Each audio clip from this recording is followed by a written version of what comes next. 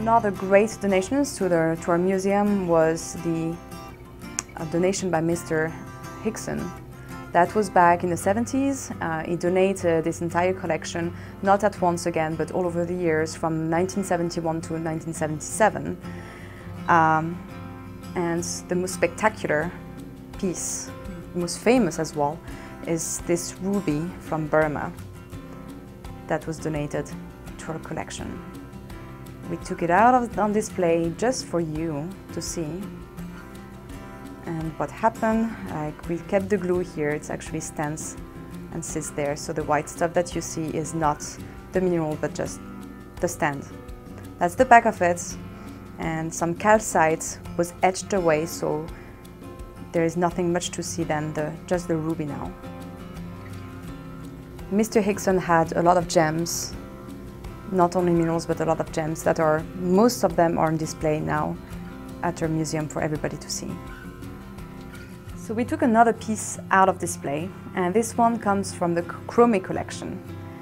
Again, another donor that gave uh, the collection to us, that was back uh, in 1985. This collection came out out of completely surprise. We didn't know the person at the time and we received this collection in his will along with a nice endowment for our research. This is a spectacular orthoclase from Madagascar. Beautiful color, completely pure again, and it's pretty from almost every side, so perfectly displayable specimen.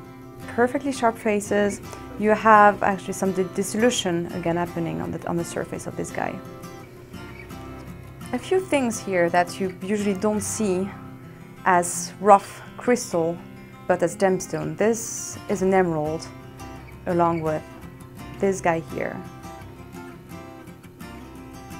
This one is spectacular. It, come, it comes from Colombia. It's spectacular just by the shape of it. The alignment of the crystals are so unusual. I've never seen that before. The white here is calcite. This was part of the Hindin collection, Mr. Hindin. Again, that was given to us quite recently.